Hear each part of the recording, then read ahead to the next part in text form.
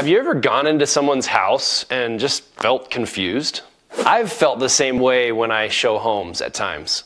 Sometimes I'll show a home and part of the home will be really nicely updated and the other part is completely not. That sends confusing signals to me as a realtor and to buyers, right? If the house is not in unison with its updates, with its features, and with its style.